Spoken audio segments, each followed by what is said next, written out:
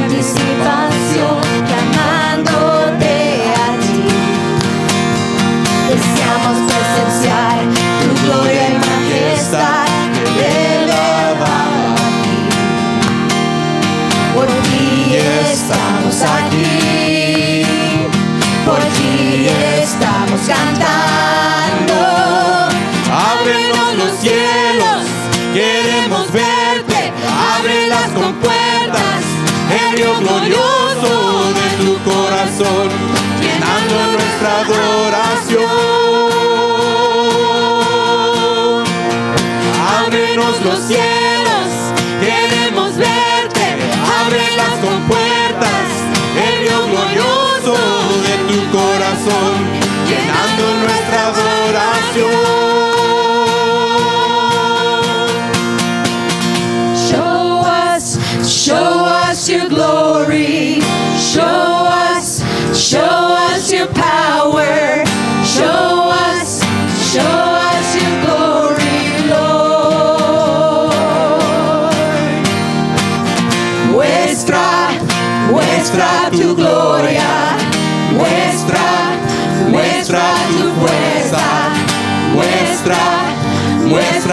gloria a Dios.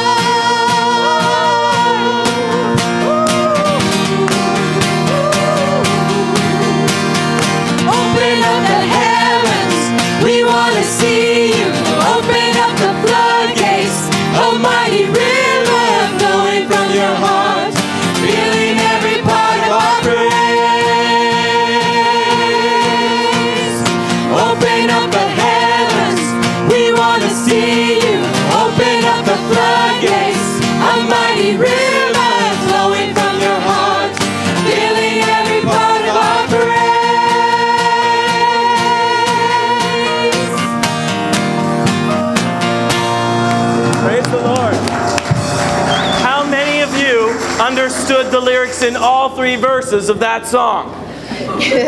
Anyone? All right, there's a reason for that. For those of you who don't know, our church is in two different congregations, but we're one church. We have an English speaking congregation and a Spanish speaking congregation. And today we're worshiping all together. So we're very happy to have our family all in one place this morning.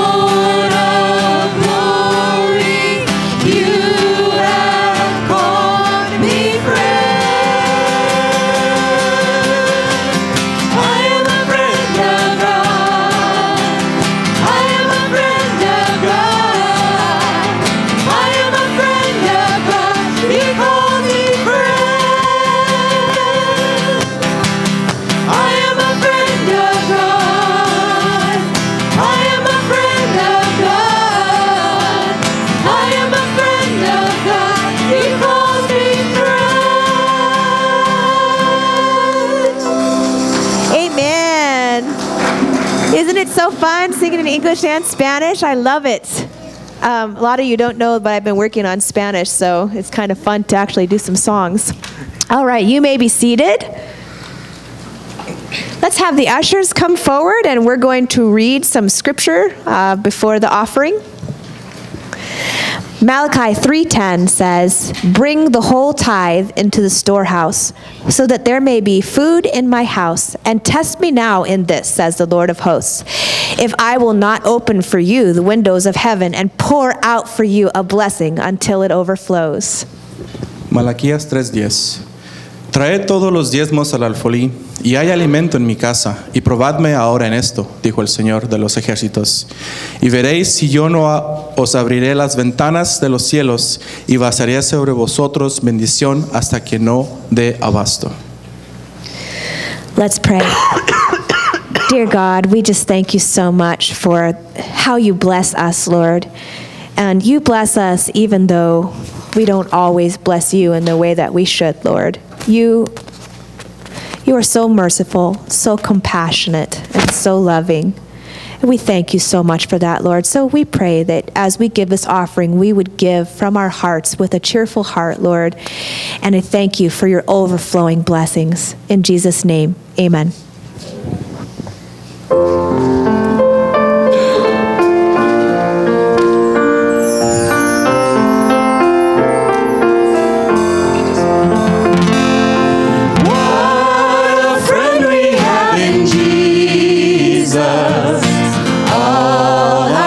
And griefs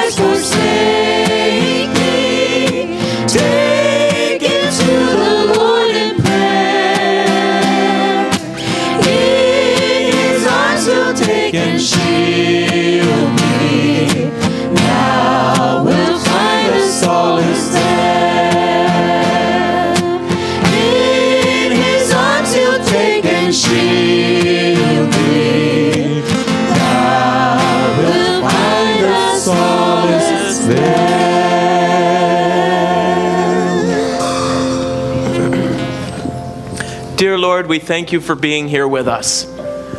We thank you for our church family. Though we speak different languages, we ask you to help us to serve our world as one family. This morning, we also ask that you open our minds and open our ears so we can hear the word that you have for us, the word that applies in every culture and in every language across the world. In Jesus' name we pray. Amen. Kids, you can come on up for a children's message with Pastor Brock up here on the stage. And after the children's message, you can go back to sit with your families or you can go to children's church. I've got a question for you. Okay, go ahead. What does God look like? Uh, what does God look like? Well, I've never actually seen God with my eyes, so I'm not really sure what he looks like. Yeah, but did you ever think about what he looks like? Well, when I was a kid, I used to think he looked like, think about God and kind of think of what he might look like. What did you think about? Well, I kind of thought of him as an old man with gray hair.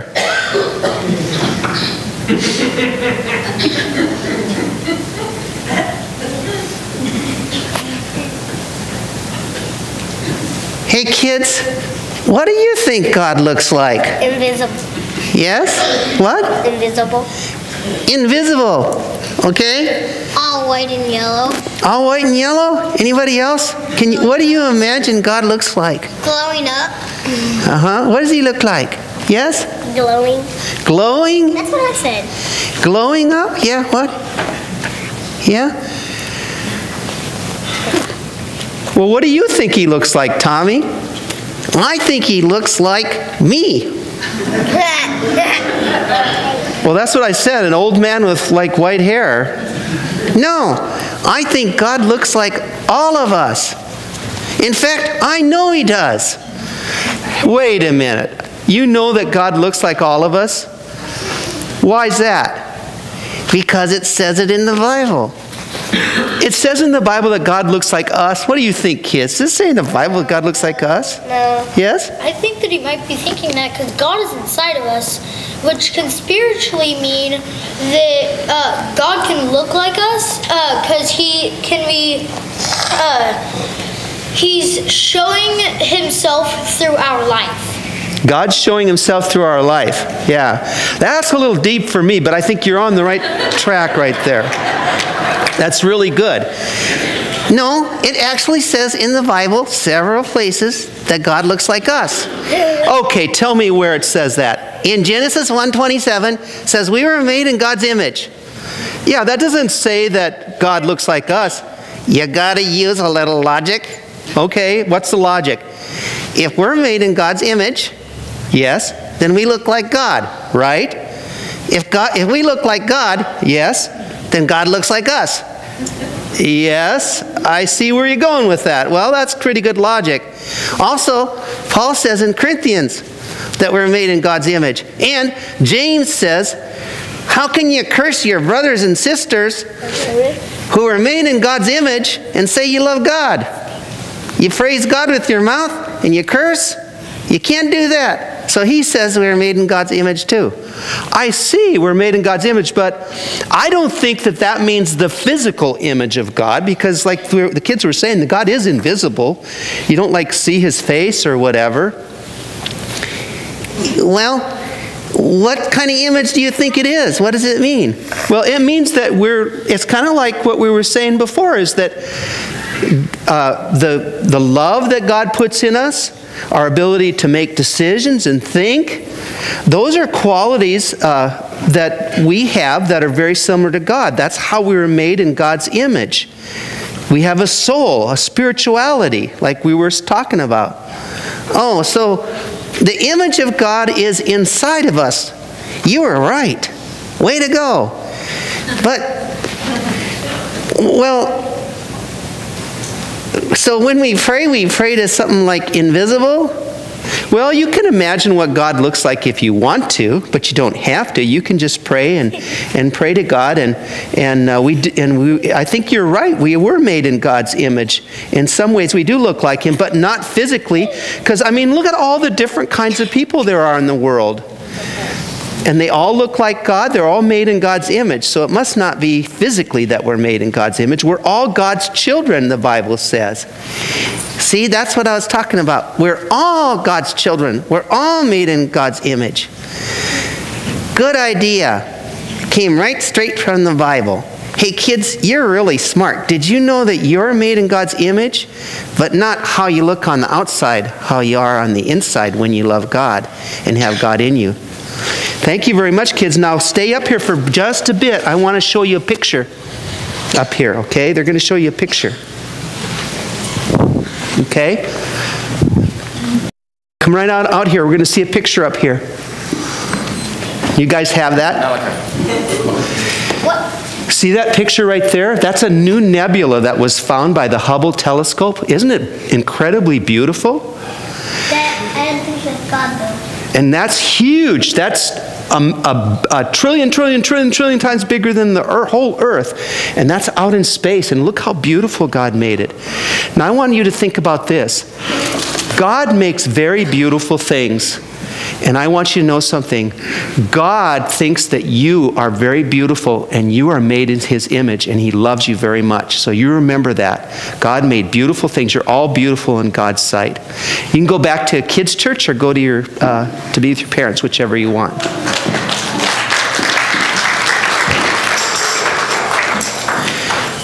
Pastor Sabino is going to share a song and, and some of the and the Word of God with us now.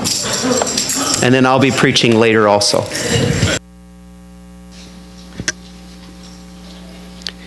Not yet, please. Not yet. I, this is a number four, okay. I want to share this beautiful songs, song, and for me, it's a very, very, very, very, very blessed. And just think about the words, because you know what? Many times we come to the Lord with empty hands. And I am not talking about um, money, but I don't know how many people you bring to the Lord and receive like, like a Savior. You know what I'm saying? I don't know. Just think about it because many times we have a years and years uh, we are Christians, but we don't have a f- fruit. And the Lord called us to take fruit for Him. Listen this song and it's a beautiful and I hope so you enjoy also.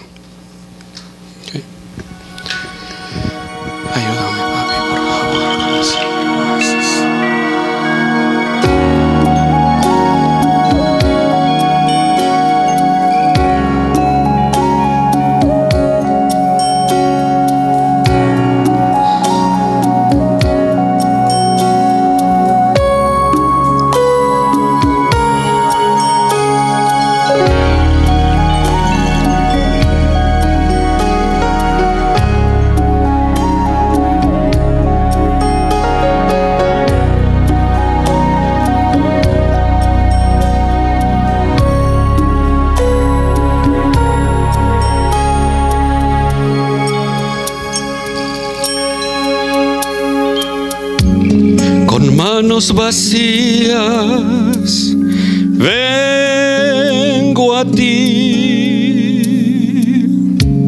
No tengo nada que darte. No hay nada de valor en mí.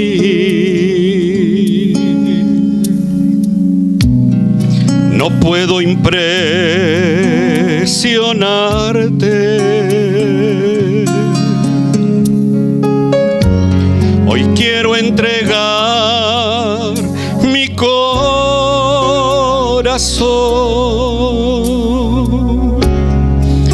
que está quebrantado.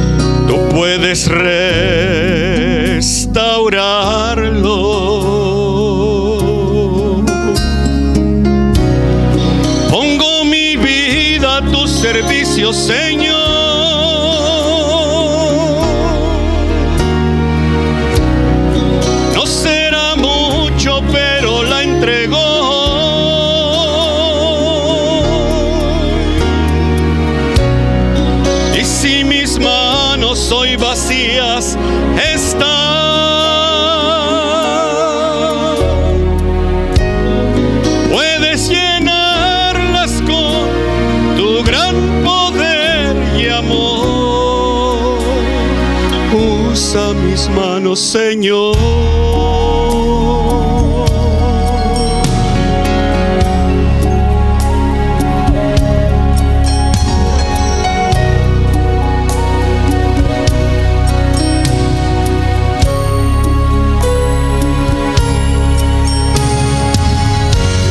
Con manos vacías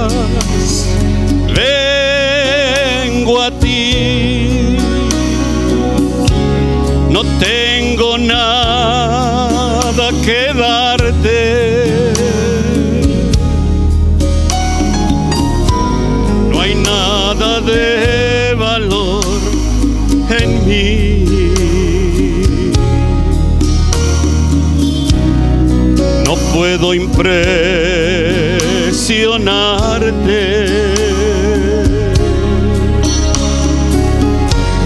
Hoy quiero entregar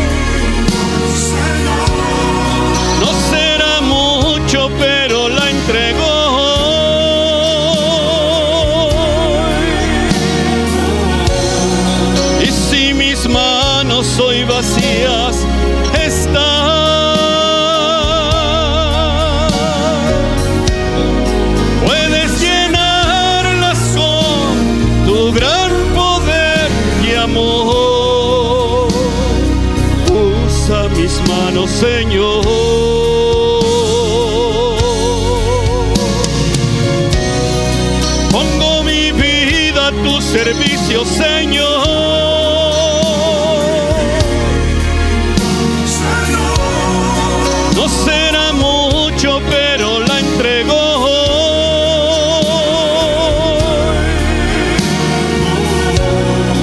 Y si mis manos hoy vacías están,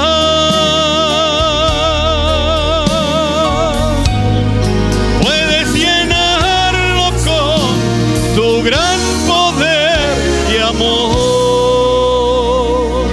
Usa mis manos, Señor.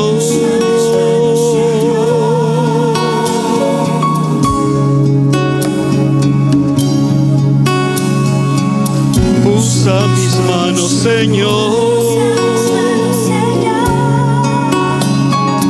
Usa mis manos, Señor.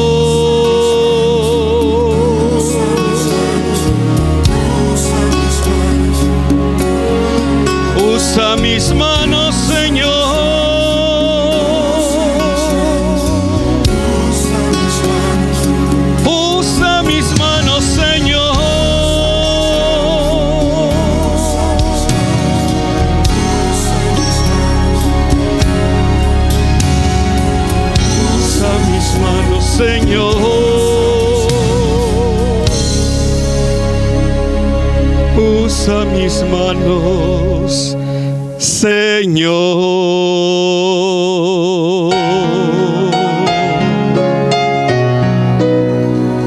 That is our prayer today. That the Lord use our hands. Amen.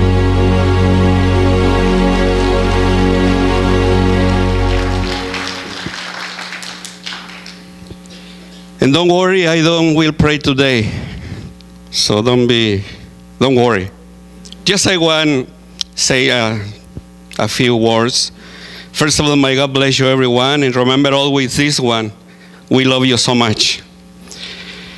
I will only take a few minutes to say what it what it is I want to share with all of you. I want to start to giving thanks to God for the vision He has put into the heart of Pastor Brock in regards to discipleships and reaching out to people of different nationalities. Now, brothers and sisters, it is our turn to embrace the same vision, dream the same dream, so that God can do His great work through us. I would like to express myself in form of testimony how happy I feel in this congregation. Because since the first day we arrived, uh, we were able to feel the love from a lot of yours toward us. I would also like to say that if we want to reach others for Christ, we first need fix to our home. Because if we pass each other in the foyer and we don't say a simple hello to each other, something is not right. If we want to reach the love, the lost of different ethnicities, we must remember that the Lord teach us in His Word. And the Lord says, By this shall all men know that you are my disciples, if you have love one another, if you keep showing love among yourselves. This is in John 13 35. The last Sundays, to me, was a proof that there is unity between us by saying how many of you put your talents to work for the Guadalajara mission. And I am so happy for that. Brothers and sisters, I believe that this vision and this dream are from God. I believe from the deeper of my heart, really. Let's put aside the prejudices that have us tied down and let's live the light that is the Word of God. Let's do our part and let the head of, of this church, Jesus Christ, pour our out, pour out his blessings over us as individuals, as couples, as family, and his church for the glory of his name. When we do this, brothers and sisters, we will see the kingdom of God here on earth and here in our church. I love you so much. Again, it's a little, little short words, but from the deeper of my heart. God bless you, everyone. This is the, you and I are the body of Christ. Christ is the head. So just obey the head. Because when I say at this arm, go up, with my brain say that one, my hand go, my hand go up, right? The head of this church is Jesus Christ. Just obey, obey him, and everything will be okay. God bless you, and I love you.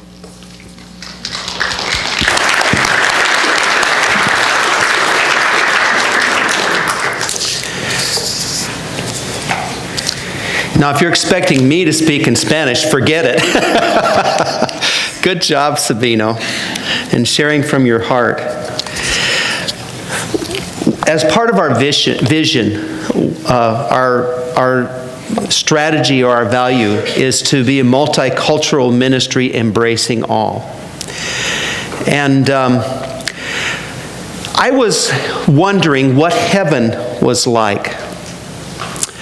But there is a glimpse of heaven in the book of Revelation. Revelations chapter 7, and I'm going to read verses 9 through 17, and then Sabino will read in Spanish. Um, do you have the microphone, Sabino? Yes. Uh, which one is it? What number is it? Number 4? Okay.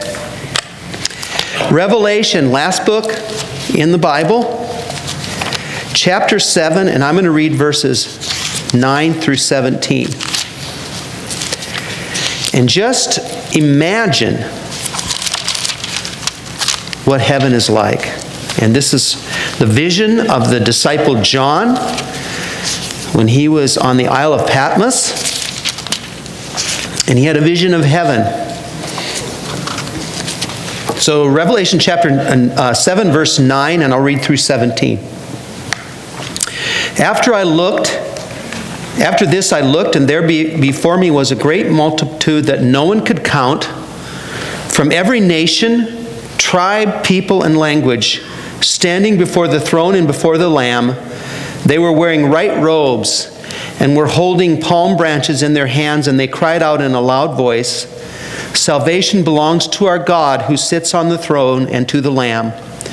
All the angels were standing around the throne and around the elders and the four living creatures. They fell down on their faces before the throne and worshiped God, saying, Amen.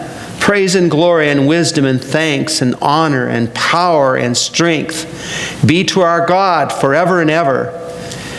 Then one of the elders asked me, These in white robes, who are they and where did they come from? I answered, Sir, you know. And he said, These are they who have come out of the great tribulation. They've washed their robes and made them white in the blood of the Lamb. Therefore, they are before the throne of God and serve him day and night in his temple. And he who sits on the throne will shelter them with his presence. Never again will they hunger, never again will they thirst.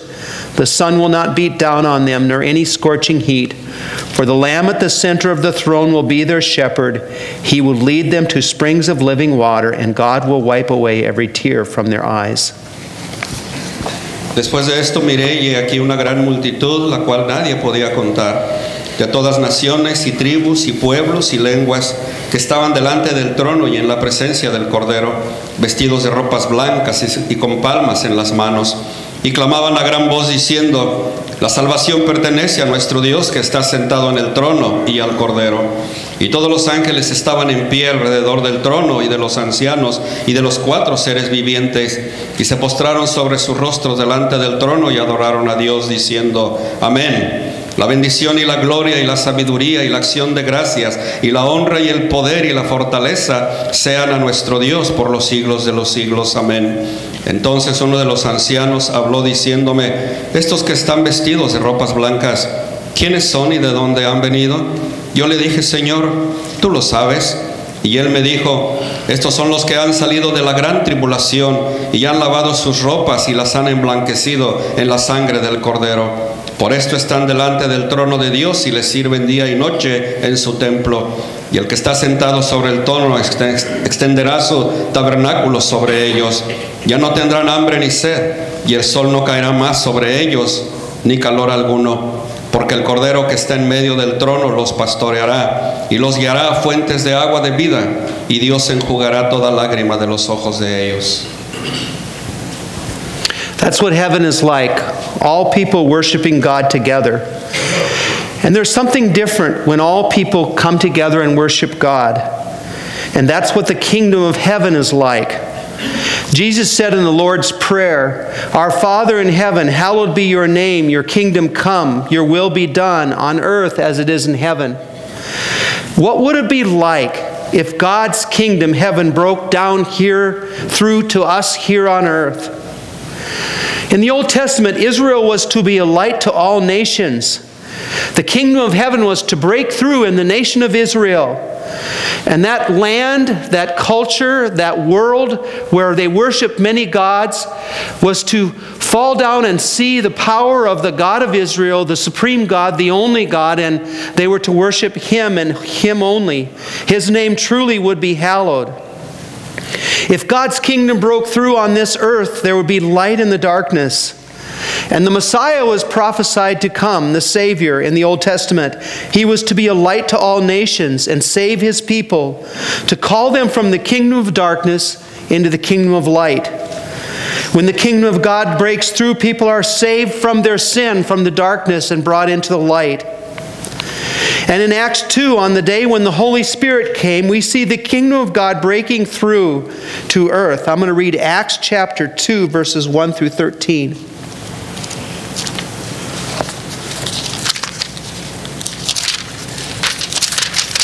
Sabino, you don't need to read this one. I'll, I'll just read it in English. Acts 2 1 through 13. We see the kingdom of God breaking through when the Holy Spirit was sent at Pentecost after Jesus rose from the dead. When the day of Pentecost came, they were all together in one place.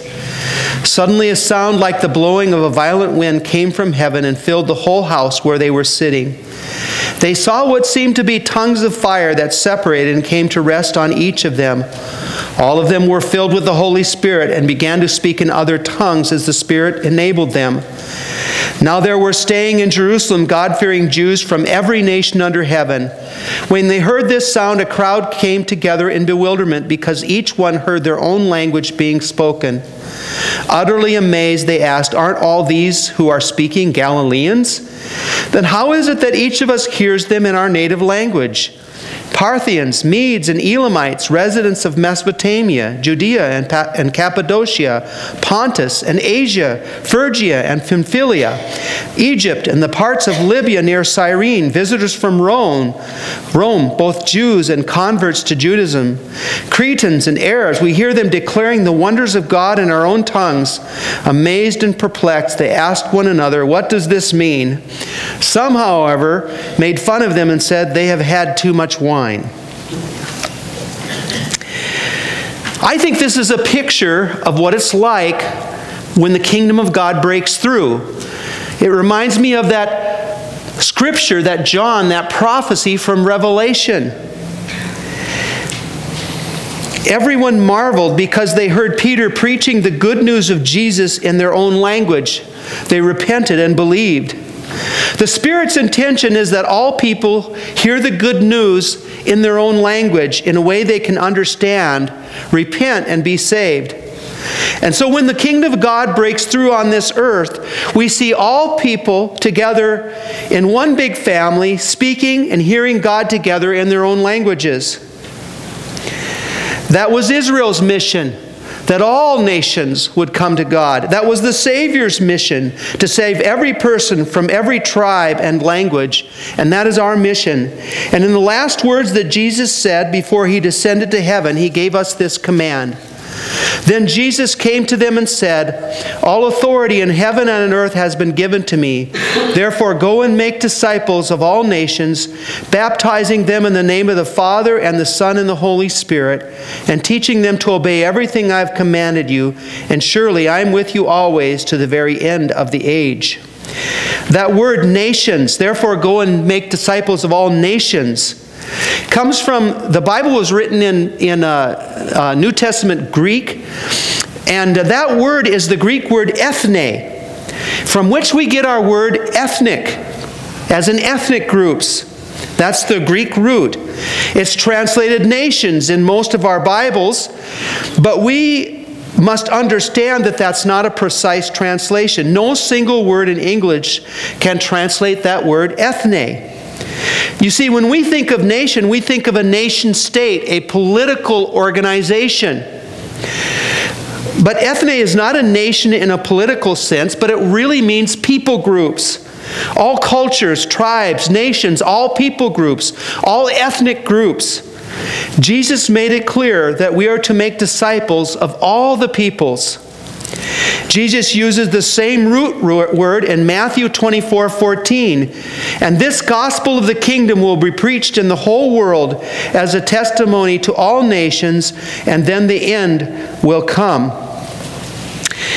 Here is the same word, all nations. It's ethnesin, meaning all peoples, all ethnic groups. He will not come back, he says, until we accomplish this task. The gospel, which means the good news that Jesus saves, must first go out to everyone before Jesus comes back.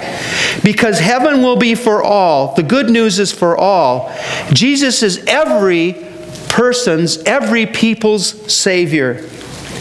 This is mentioned in the book of Revelation, chapter 14, verse 6. And I saw another angel fly in the midst of heaven, having the everlasting gospel to preach unto them that dwell on the earth, and to every nation and kindred and tongue and people. Sabino, you can read uh, Revelation 14, 6 in Spanish. Luego vi a otro ángel que volaba en medio del cielo y que llevaba el Evangelio eterno para anunciarlo a los que viven en la tierra, a toda nación, raza, lengua y pueblo. Every nation, the Greek word is ethne, every kindred, phulain, which means every tribe, every language, glosson. Every nation, kindred, and tribe will be together. And the gospel is to be preached to every people throughout the whole world. The apostle Paul summed it up in Galatians 3:28. He said there is neither Jew nor Gentile, neither slave nor free, nor is there male and female, for you are all one in Christ Jesus. When the kingdom of God has come on this earth, it's going to be like heaven all nations, all tongues worshiping together. But I think it's going to be like the day of Pentecost. And that's why I'm not learning Spanish down here. I'll be able to hear in my own language up in heaven, or maybe we'll have a brand new language that everybody understands. I think that on the day of Pentecost, God gave a gift to us. He said, I'm going to show you a little bit of what heaven is like. You can speak and you can hear in your own language. Um, I like science fiction, and in Star Trek, they have a little thing that they put on called a universal translator. They do that on all the, all the uh, space shows. Otherwise, you'd be hearing 25 different uh, um, uh, strange alien languages, right? But we're all going to have a built in universal translator. We're going to be able to hear each other and understand each other. In fact, the Bible says not only that, we'll have a perception of each other that's going to be so much beyond what we have here. Because the Bible says we will know as we are known. Can you imagine how, how well God knows you? We'll know as we are known. We'll have a deep spiritual understanding of each other. Now, whether we'll be able to recognize the way we look, I don't know. But I think when God looks at us, if we're made in God's image, He recognizes a spiritual signature. And I, I'm speculating, but I think we're going to have a spiritual signature in essence that we're able to recognize in each person. And I certainly hope uh, that we don't have these old bodies. They get older and more crickety, and some of you that are older than me, you understand even better. We're going to have new bodies. And uh, I'm hoping, too, that we won't have pimples in heaven. You teens probably are thinking about that, you know, just hoping that you don't have pimples in heaven. But who knows what we'll look like? We'll have new bodies, right?